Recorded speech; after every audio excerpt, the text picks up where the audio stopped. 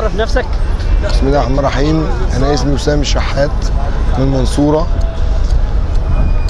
وجاي هنا علشان أعتصم عشان حق النهارده الشهيد. الخميس بكرة الجمعة يوم 8 جاي حضرتك النهارده من النهارده ولا جايبها لك كام يوم؟ لا أنا جاي من يوم الأربعاء. من يوم الأربعاء آه.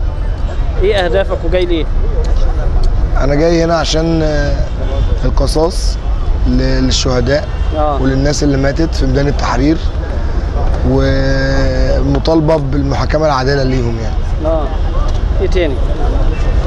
والله ده المطلب دلوقتي اللي إحنا مركزين عليه. يعني أنت بتشعر لسه الثورة لم تحقق مطالبها يعني؟ الثورة نجحت ولكن هناك تكملة ليها.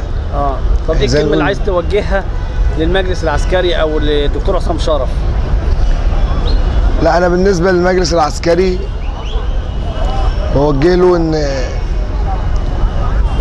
إن ربنا يسألهم عن كل نقطة دم نزلت في الميدان ده.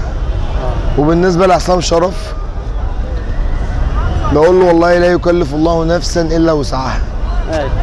وأنت استلمت تركة أنت مش قدها. فأرجوك سيبها عشان ما يبقاش شكلك وحش. طب لو عصام طارق س- يعني ساب المنصب ده مين ممكن في في, في, في تخيلك يعني؟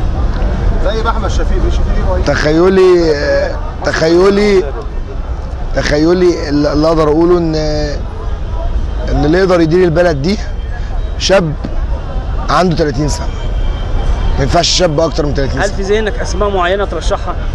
والله مصر فيها كتير جدا ما فيش في ذهني اسم معين ولكن مصر فيها فيها ناس كتير جدا وفيها شباب. أنا نزلت الميدان. آه. لقيت شباب جديد كتير جدا عقلياته جميلة جدا. يقدر يدير البلد. وبعدين إدوا فرصة للناس وجربوهم.